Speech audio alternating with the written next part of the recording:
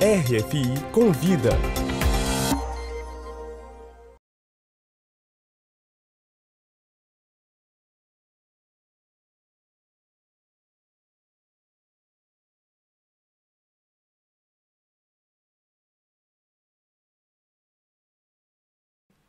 E para começo de conversa, queria que você me contasse um pouco sobre a escolha desse, desse nome, Desexílio, para, para a exposição.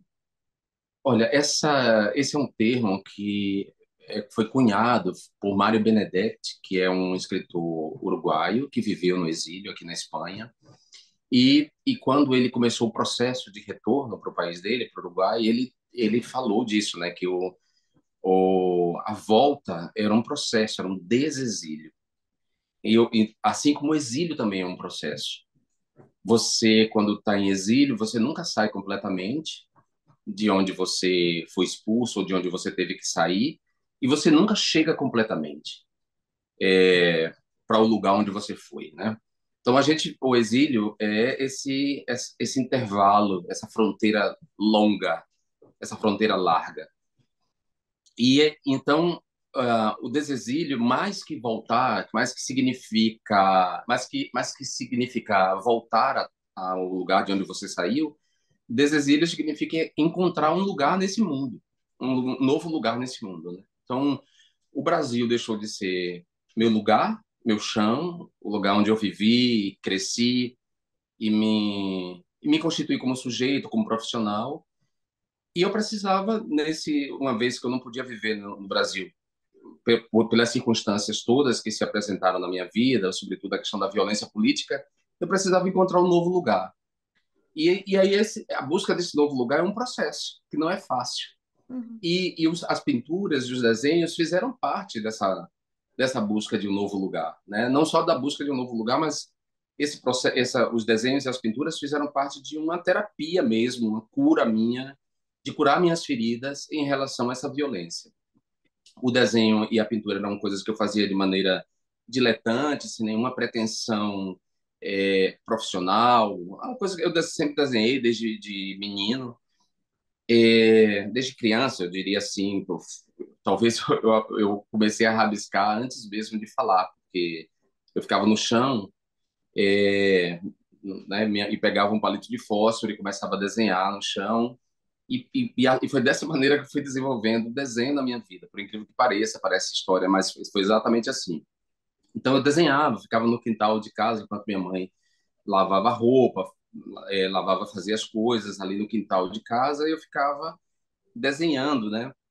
E, e o, então voltar ao desenho no momento em que eu estava no momento mais duro do exílio, que, que era eu estava nos Estados Unidos, eu, né, na em Cambridge, eu tinha ido para lá convite da Universidade de Harvard para cumprir um ano como professor visitante e, e no meio desse ano eh, veio a pandemia de Covid-19 e eu me vi é, isolado num país cuja língua eu não falava bem, é, num frio, frios negativos, a região de Boston é, faz frios negativos, sem saber o que era direito a, a pandemia de Covid-19, com a fantasia é, coletiva de aniquilação, medo de, de morrer longe da minha mãe, dos meus irmãos, medo que eles morressem nesse momento e eu longe. Então, eu tive uma crise seríssima de ansiedade e o desenho, ele que era uma coisa que eu já fazia ali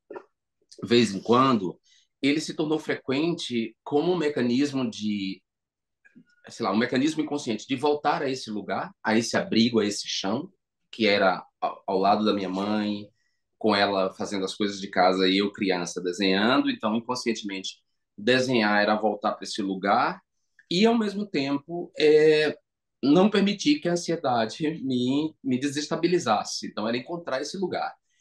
Por tudo isso, é, essa exposição eu batizei de Desexílio, porque esses desenhos todos que estão expostos, eles foram feitos ao longo desse processo de exílio, né?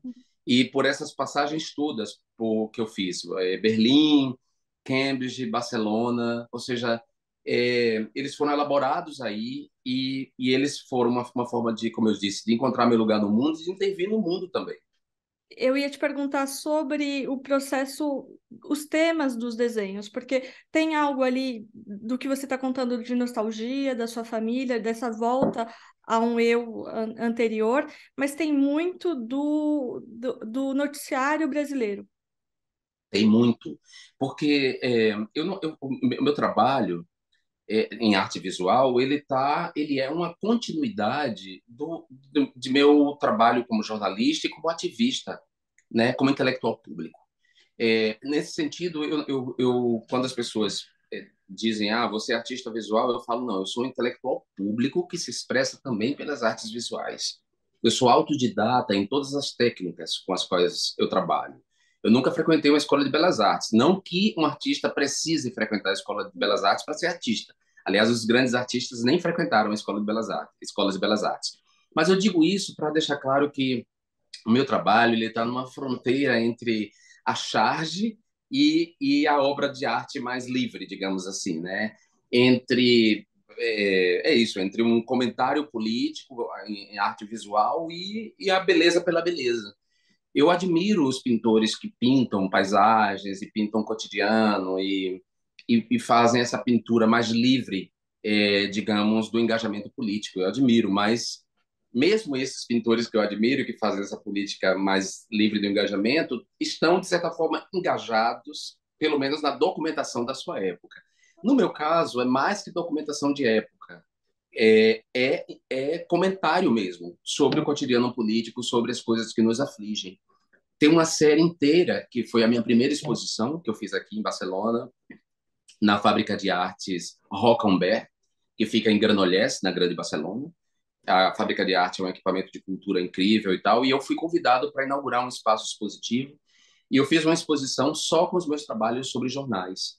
É, porque eu encontrei uma maneira, assim, dentro da precariedade da minha vida no exílio, é, eu comecei a trabalhar com suportes que não fossem só a tela, só, né? Porque é, porque custava, porque a tela custa e porque eu acho que, que tem que outros suportes podem ser utilizados para pintura, sobretudo para essa para esse trabalho que, que busca comentar o cotidiano. Então eu, eu comecei a usar os jornais e o jornal não é um mero suporte. Ele é eu, eu a minha pintura é uma intervenção sobre aquela notícia, é um diálogo com aquela notícia. Então, não é, um, não é porque eu peguei um jornal qualquer para pintar, não é isso. Eu peguei aquele jornal com aquela notícia e eu fiz uma intervenção sobre aquela notícia. Então, tem aí uma, uma, tem uma elaboração em cima disso. Eu sou jornalista, minha formação é em jornalismo. É, o jornalismo é uma instância de representação do mundo, nem sempre honesta, né? É, basta a gente ver o caso da, da imprensa hegemônica de direita no Brasil, o quanto ela, ela caiu em desonestidade intelectual, o quanto ela, ela apoiou o fascismo de Bolsonaro, enfim. É, então, assim, tem essa, essa, esse meu entendimento como jornalista, da, da, da notícia como representação de mundo, tem a minha, minha pesquisa de doutorado sobre as fake news e o fenômeno, fenômeno da desinformação. E, e aí e por isso a notícia que eu escolho para ser o suporte do desenho, da pintura, não é uma notícia qualquer. E o desenho que eu elaboro ali também não é um desenho qualquer. Então tem um diálogo entre os dois e que uma pessoa pode não perceber e pode ver só a beleza, por exemplo, eu pintei uma uma terra, é, uma imagem da terra azul verde é, sobre um, uma notícia de, de, de, crise climática, por exemplo, né? É, a pessoa pode não pode não ver a, a, a notícia que está no fundo, só dizer, nossa, que linda terra, que linda terra que você pintou, né? Em, em, em cores, em, em pastel. Ou a pessoa pode ver. E aí essa exposição em, em Granollers, na Fábrica de Arte Rocambert, chamava-se Voltar a Ver, Voltar a Ler. Porque era é, ela foi ela to, era todo só os trabalhos de jornais então quando as pessoas passavam elas viam os desenhos mas se elas reparassem direito por exemplo tinha um beijo entre um um árabe eu pintei um beijo entre um árabe entre um muçulmano e um judeu. Os dois se beijando assim aí a primeiro tinha a pintura a pessoa poderia dizer nossa que interessante já é interessante botar um Mas se ela olhasse no fundo, é, a, a, notícia de fundo era uma notícia sobre intolerância, né? que, que, falava sobre a questão. Então, é, é, esse trabalho eu fiz, então, o, o que eu levei para para a Virreina, para o Palácio da Virreina, foi a outra parte. É aqui, só tem dois trabalhos meus que eu fiz sobre suporte de jornal, que tem um jornal como suporte, que é a explosão da bomba atômica com pênis e e a coroa de flores, é, a coroa de, de flores funerária, que que é sobre que eu fiz sobre as imagens de Trump e e Putin. Ou seja, é, sim, essa a, a minha arte é uma arte política não sei se ela vai, se em algum momento vai deixar de ser. Eu creio que não, porque por mais que eu me aperfeiçoe e, e faça beleza pela beleza, sempre vai ter um, creio que vai ter um comentário político. E você falou sobre a arte como uma terapia nesse período de exílio para entender. E pensando também no livro que você acaba de lançar junto com a Márcia Tiburi, o que nos pode dizer? E você, você lá vai falar sobre a questão de é, a dificuldade de viver um exílio quando você tem uma, uma ameaça que é onipresente, seja porque ela é digital, seja porque a gente viu nos últimos tempos perseguição de brasileiros em outros países a ministros do STF, ao Gilberto Gil no Catar.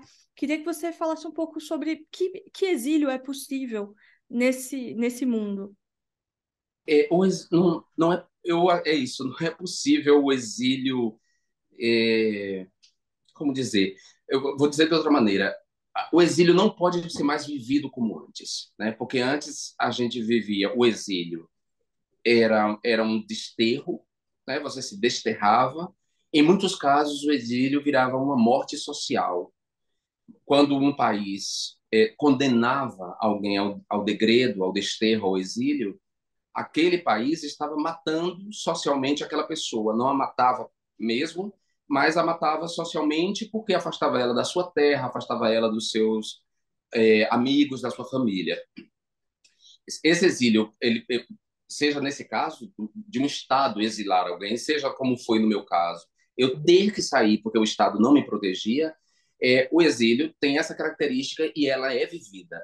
Só que agora a gente tem que pensar é que o exílio é vivido é como uma presença-ausência, porque eu estou ausente do Brasil, do ponto de vista analógico, físico, a minha presença física não está lá, mas nesse outro, nessa second life, nesse nesse nesse outro mundo que a gente vive também, que é o mundo da internet, essa toda esse mundo construído por essa infraestrutura global de comunicação, eu estou presente. E em ambos os territórios, seja no território virtual, nesse território online, é, digital, seja no território analógico, há ameaças nos dois, nos dois espaços, né?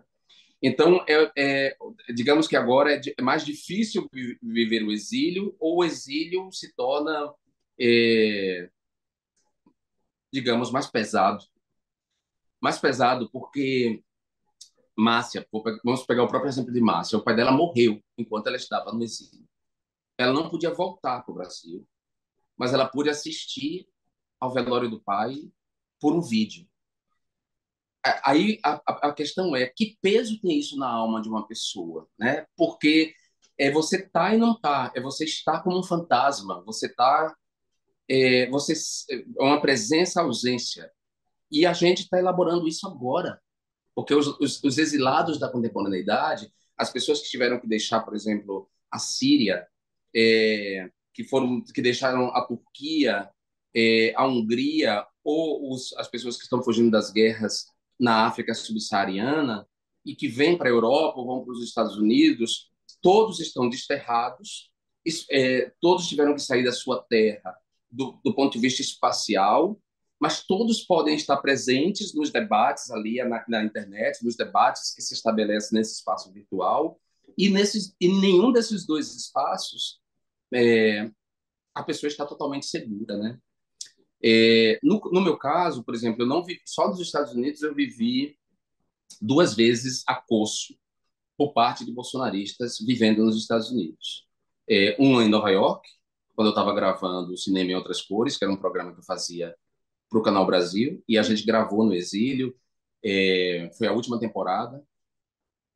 E a outra e a outra foi em Cambridge, na, na cidade mesmo, do, onde ficava a universidade, no Starbucks. Foram os dois únicos momentos que eu vivi e nesses dois momentos eu de, é, eu pude enfrentar os acossadores de uma maneira que eu no Brasil não podia é, enfrentar porque eles eram ampla maioria no Brasil, principalmente em 2018. Em Barcelona eu, isso nunca aconteceu, nunca aconteceu. E também eu optei, desde que eu vim para o exílio, a ter um, a, a, ficar low profile, né? Quer dizer, a, a, a minha exposição na, aqui em Barcelona, a minha exposição é, é, muito baixa. Eu não quis, eu não pedi asilo político, eu fiquei com um, um eu estou aqui com a identidade estudantil, quer dizer que eu, eu tenho um NIA de estudante. Eu só agora nas eleições né, de, de agora nas eleições de 2022, que eu dei entrevista para a TV espanhola, que eu me senti à vontade para dar entrevista para a TV espanhola, porque eu não queria ficar um rosto conhecido aqui na Espanha, eu queria recuperar a minha vida, é, a vida que eu tinha perdido no Brasil, é, seja por causa da visibilidade, seja pela violência. Então, por tudo isso, é, eu, eu, eu, fiquei com, eu fiquei low profile. Então, é, pra, só para responder sua pergunta, é, a gente ainda está em processo de elaboração sobre o que é o exílio hoje em dia, né? É, o que é o que é o exílio no mundo de vigilância, de completa vigilância, num, num capitalismo de vigilância, é, num, num mundo em que as, as mídias sociais detêm nossas informações e que praticamente não há lugar em que a gente não esteja visível. Ao mesmo tempo, você que teve a vida tão devassada por tantos anos, nessa exposição e também no livro, você não abre mão de contar detalhes ou de mostrar coisas muito, é, muito individuais, muito próprias, seja da sua história ou seja de pensamentos seus. Você Sim. em nenhum momento deixou de, de pensar em se expor nesse sentido, porque é uma exposição que você assume. É, é uma exposição que eu assumo, é uma exposição necessária, porque eu preciso produzir memória sobre esse período. Se eu não produzir memória, se eu não deixar documento, a, a, as pessoas, a, essa história não vai ser contada, eu vou ser apagado e não vai haver para o futuro quem possa contar essa história. É preciso deixar rastros, é preciso deixar memória para que no futuro a história seja contada como tem que ser contada. Senão, a gente é apagado ou há um revisionismo histórico que conte outra história. Né? Então, eu precisava ter o controle da narrativa. Havia muita mentira no Brasil sobre sobre meu exílio. É, a, a, a, estrutura de comunicação, a, a, estrutura digital de comunicação do governo Bolsonaro, que é uma, uma, uma máquina de propaganda e de mentira, que foi chamada de gabinete do ódio, ela inventou a história de que eu tinha vendido meu mandato para David Miranda e para Glenn Greenwald, sabe? É, e, e, isso gerava uma fantasia de que eu estava no exílio porque eu queria, porque eu estava de férias, é, de férias na Europa, e é uma mentira. É uma mentira. Eu estou aqui como um, qualquer imigrante, não como qualquer imigrante, mas eu estou aqui como imigrante, tendo que tocar minha vida, tendo que trabalhar, é, é, sou beneficiário de uma bolsa. Ou seja, essa é a vida que eu levo, não a mentira que eles contaram lá. Então, eu precisava dizer, é, falar, olha, é, na Europa, ao contrário do Brasil, em que, embora eu seja miscigenado, é, filho de um pai negro com uma mãe branca, no Brasil, a, a, a minha cor de pele, a cor da minha pele, é, me identifica, leva as pessoas a me identificarem como branco e, portanto, a não ser racializado a princípio. Na Europa, eu sou racializado. Eu sou racializado porque eu me pareço com árabe, eu me, me pareço com os, os, os, povos árabes. Ou seja, é preciso contar essa história que eu fui tirado de um trem na França por puro, de um trem rumo à França por puro racismo da polícia francesa, né? Então, eu sei que é uma exposição. É, eu, tenho, eu, tenho ciência, consciência dessa exposição e Márcia também. Mas a gente precisava é, a gente precisava produzir essa memória e a gente precisava controlar a narrativa, porque senão é, viriam eles e assumiriam o controle dessa narrativa e, e a gente já não poderia fazer mais nada. E eu já tinha vivido isso no Brasil. Por exemplo, a máquina de mentira, a máquina de propaganda da extrema-direita no Brasil, já tinha assumido uma narrativa e me colocado é, em posição de risco. com as mentiras sobre eu, é, a invenção de que eu tinha definido a pedofilia, a invenção de que eu queria obrigar crianças a mudar de sexo, a invenção de que eu queria impor o, o ensino é, do islamismo no Brasil ou nas, nas, escolas públicas brasileiras, ou seja, uma série de mentiras é, feita por uma máquina de propaganda é, é movida por, por, muito dinheiro, né, com muito dinheiro, um dinheiro é, que a gente até hoje não sabe direito, porque a polícia não concluiu ainda a investigação sobre o financiamento dessa máquina de mentiras e eu sei quais foram as consequências disso para a minha vida e da minha família. Então, aqui fora, eu não podia deixar que, uma vez mais, a máquina da mentira controlasse a narrativa. Então, eu precisava dizer a verdade, Márcio precisava dizer a verdade. E a gente pegou a, a, a, a, a expressão do Teodoro Adorno, a definição dele para a filosofia. A filosofia é dizer o que não se pode dizer. Então, ao mesmo tempo que a gente está filosofando sobre o que é o exílio, a gente está dizendo o que não se pode dizer, ou o que se deve dizer, na verdade, é, para deixar como memória. A gente conhece muito bem, não só o revisionismo histórico do Brasil, mas a gente conhece muito bem quem controlou a história no Brasil e como eles apagaram pessoas completamente né, da história oficial. E aí eu não estou me comparando a essas pessoas, mas é, é bom citá-las. É, que imagem as pessoas têm de Zumbi dos Palmares? Que imagem as pessoas têm de Luiz Gama? Quem conhece Luiz Gama por exemplo. Quem conhece Dandara, né? Quem, quem, essas pessoas são apagadas simplesmente da história e uma história oficial se coloca e, e é como se elas não existissem. Então não vou deixar que isso aconteça comigo. Até, enquanto eu viver, vai haver memória. E aí a exposição é, é parte dessa. Não é que eu goste de me expor. Aliás, a minha exposição é sempre uma exposição muito. É, como dizer? uma exposição calculada na medida em que ela serve a um propósito. Eu não me exponho por me expor. Né? Se você olhar minhas mídias sociais, eu não estou lá botando o prato que eu como, nem, nem me fotografando na intimidade com um namorado ou algo assim. É, não, não é essa exposição. Essa exposição não me interessa. Agora, a exposição com um fim, com um propósito, sim. Sempre isso eu sempre fiz. É uma exposição acho... política no final das contas. Exato, é uma exposição política no final das contas. É, a, a, ideia é sempre essa. E, e, a minha, eu, isso, olhando bem, tirando o meu primeiro livro, que é um livro de ficção, e não deixa de ser também, mesmo sendo ficção, não deixa de ser também uma exposição dos temas que me interessam. É, o resto da minha literatura é uma literatura de testemunho, né? é uma literatura de memória. Né? É, eu poderia dizer que eu sou um memorialista em termos de literatura, e eu gosto disso, de deixar essa memória. E você já tinha falado que sua arte é política, que essa exposição é política, e, e falou também que nesse agora na última eleição você voltou a se expor mais e a dar entrevistas e, e agir. É, é, me expor publicamente, digamos assim. Publicamente assim. e, de um, e partidário também. É, você hoje sente a possibilidade de fazer esse desexílio voltando ao Brasil? Ou ainda está no processo? Eu, não, eu, bom, eu estou no processo ainda ainda não é completamente seguro voltar para o Brasil. Por exemplo, eu queria muito estar na posse do Lula dia 1 é, Vai ser um dia histórico. Né? Eu queria estar lá, eu queria ser testemunho, ser testemunha desse dia, desse dia histórico. É a retomada da democracia depois do golpe de 2016 contra Dilma, depois de todo o processo de fascistização da esfera pública brasileira. É, eu ajudei na construção dessa retomada, né? Quer dizer, eu ajudei na retomada da democracia, eu ajudei nessa reconstrução.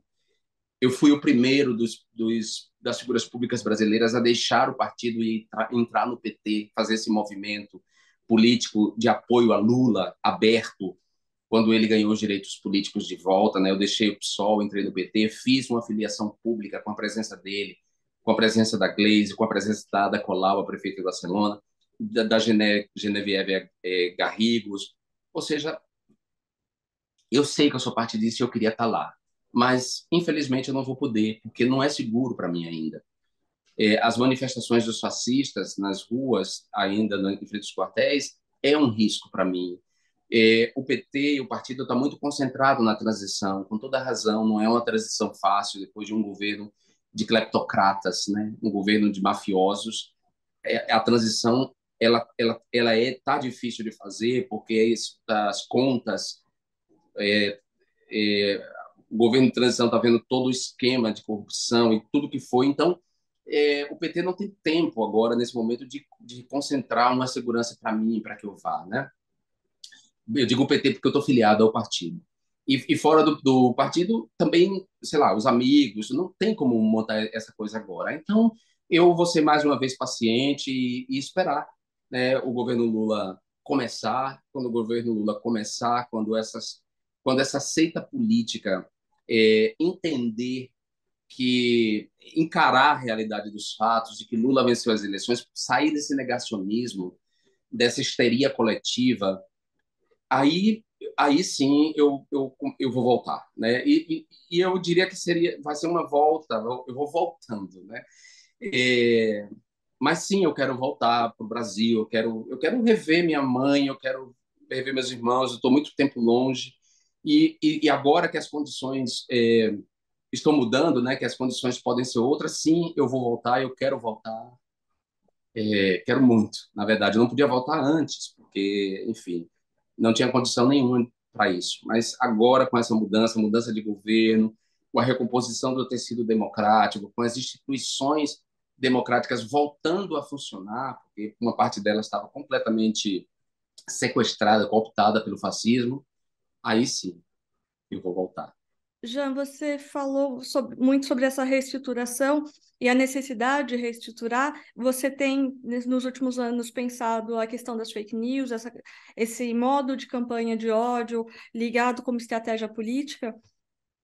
Que tipos de saída você percebe para essa reestruturação, pensando esse tema que, é, que tem sido o seu tema, primeiro Sim. o tema de que você foi alvo e depois de, de, de pensamento, né?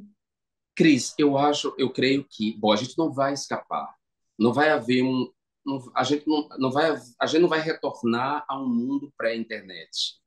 Isso não vai acontecer. É, a, a, a cultura digital ela veio para ficar. A imbricação homem-máquina também. Nós não vamos voltar a um, estado, a um estágio de pureza, a um estado de pureza, nem ambiental, nem comunicacional, ou seja, é, bom, a não ser que, claro, aí na pior das hipóteses, é, haja um apocalipse e a gente tenha que começar do zero. Mas descartando essa hipótese que absurda, isso não vai acontecer. Então a gente vai ter que aprender a lidar com esse novo mundo, né? É, o mundo como a gente conheceu ele ele está acabando mesmo. Ele está acabando. O mundo e isso significa que o novo mundo está nascendo e desse novo mundo faz parte essa cultura digital. E aí dentro desse entendimento de que a gente não vai voltar é que a gente vai ter que é, restituir o mundo comum, como para usar a expressão da Hannah Arendt, né? É, é, é, responsabilizando as plataformas digitais, é estabelecendo sobre elas é, um, um tipo de controle social que só pode nascer da boa política, né? É, que só pode nascer de um compromisso político de atores políticos preocupados com o futuro do mundo. Então, eu acredito que essa, esse será o caminho. Para enfrentarmos a pandemia digital de desinformação a gente vai ter que responsabilizar as, as grandes plataformas, uma responsabilização que vai ter que vir de um esforço global, porque o mundo está interconectado, então não pode ser só uma ação nacional, uma ação de um único país, senão uma ação global, um pacto global contra a desinformação, contra a mentira, em defesa da democracia. E aí, dentro desse pacto, cada país vai criando sua própria legislação e seus próprios mecanismos é, de controle, que, que passam é, não só pelo, pelo direito penal, mas passa pela educação e pela cultura. Então, por exemplo, os países nórdicos não alfabetizam é, é, é nenhuma criança sem, alfabetizar, sem alfabetizá-la digitalmente. Então, isso é fundamental. Ou seja, agora a alfabetização tem que ser também uma alfabetização digital. Né? Não existe a separação. Ah, a primeira criança se alfabetiza para depois ela, ela, ela se alfabetizar digitalmente. Não, não. Isso é impossível e, e claro, a gente tem que garantir isso para todo mundo. Num país desigual como o Brasil, as crianças de classe média alta já estão vivendo isso. Já, já fazem suas aulas em iPads, já estão sendo alfabetizadas digitalmente, já têm é, lições sobre o que é fake news, ou seja, as crianças pobres não têm. Então, claro, isso envolve também você enfrentar essa desigualdade social. O governo Lula é, tem como prioridade o enfrentamento da desigualdade social, porque ela voltou com toda a força durante o, o governo fascista.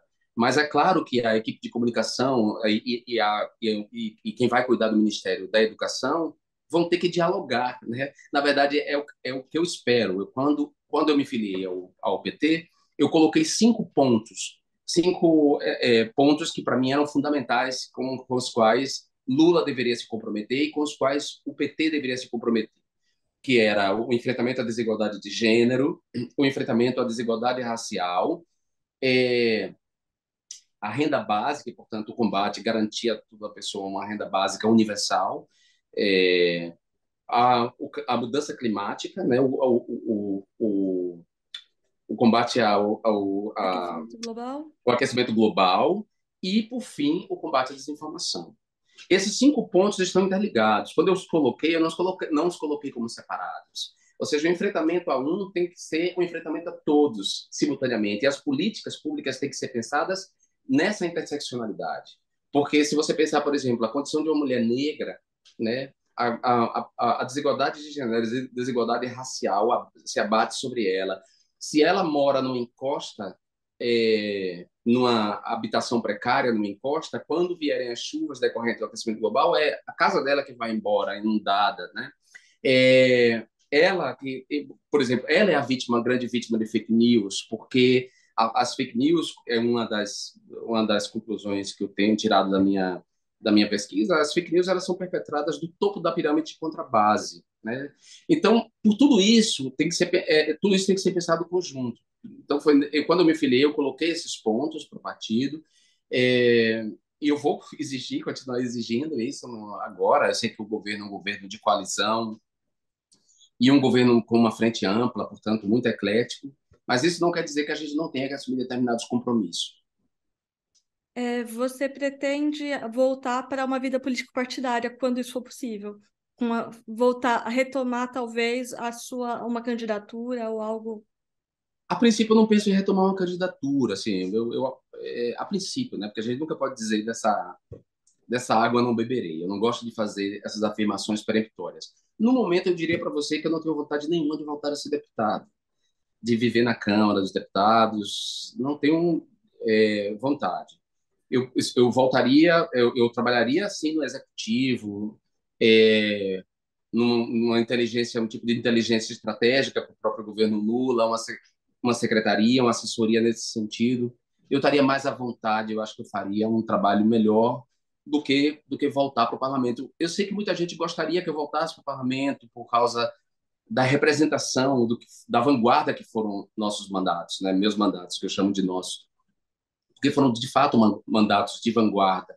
É, nós antecipamos debates e, e fizemos proposições legislativas que estavam muito à, à frente, digamos assim, eu diria, da mentalidade é, da mentalidade política brasileira, né? E talvez por isso é, tenha provocado tanta estranheza, despertado tanto ódio na extrema direita e na direita, né? O, o ódio contra mim não passa só pela questão da sexualidade, passa também pelo tipo de representação política que eu propunha, que era um, era muito diferente dessa representação política brasileira, fundada no, no, no fisiologismo, no, no, no curral eleitoral, nessa, nessa coisa. E mesmo na questão partidária, eu era muito, embora eu era, fosse filiado ao PSOL, eu dialogava com todos os partidos de esquerda e, e, e, e, portanto, isso também era uma ameaça para os próprios partidos de esquerda que querem viver suas identidades, é, querem também a exploração eleitoral dessas identidades partidárias. Enfim, é, eu não penso em voltar para o parlamento por, por esse motivo. É, a única questão seria essa, das pessoas se sentirem representadas por alguém e gostarem de uma representação, mas tem boas representações agora. É, desde que eu deixei o Brasil, eu diria até que eu abri um caminho, assim, modéstia à parte, eu abri um caminho para muita gente, né? fui desmatando. Então, para quem veio depois, já trilhou um caminho É, não estou dizendo que essas pessoas não tenham que enfrentar problemas, não enfrentam, elas enfrentam, mas elas têm que enfrentar menos porque eu já abri o caminho. E tem, portanto, muito boas representações, principalmente por parte das mulheres, das mulheres negras que entraram. É, então, tá bom, essas pessoas ficam lá representando e eu posso cumprir um outro papel que eu acho que é esse papel de uma inteligência estratégica, de que, que nesse momento eu para mim seria melhor para conciliar inclusive a minha vida internacional, a minha inserção internacional, o fato de eu atuar nessa nessa esfera e, e eu diria de não perder uma coisa que eu reconquistei, que é uma vida, sabe, Cris? Eu queria perguntar, a tua exposição fica em Barcelona até dia 15 de janeiro? É, dia 15 de janeiro. Tem alguma expectativa que os brasileiros possam vê-la no Brasil? Tem sim, tem, bom, tem duas pessoas que querem, já, já me entraram em contato comigo para para organizar a ida da exposição, mas aí, bom, enfim, não tem nada muito certo, não posso dizer, a gente está em conversa. Eu recebi um convite também para levar a Santiago de Compostela a exposição e tem a possibilidade de ela ir para Madrid.